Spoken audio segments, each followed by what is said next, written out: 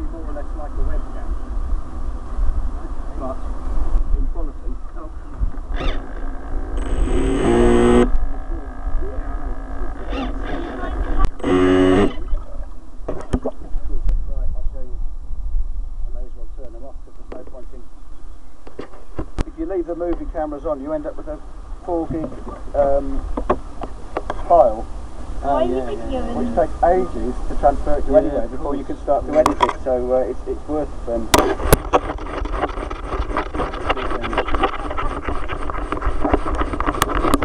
made out. Oh,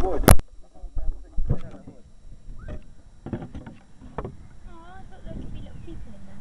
I see, little people. So if I press this this button, that red light should stop flashing, which says it's saved its movie. Similarly, this one.